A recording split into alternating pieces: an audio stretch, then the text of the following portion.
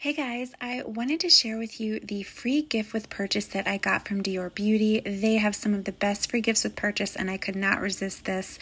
With a $150 purchase, you're going to get this Dior mirror, and this is perfect for your purse. And I had to show this to you because it is the cutest, cutest mirror.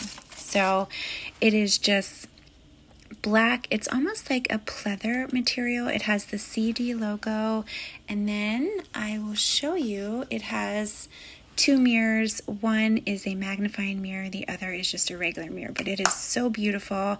And as I stated, if you spend $150, you will get this and you will also get a little mini lipstick. But I love gifts with purchase like this. This is just perfect for your purse.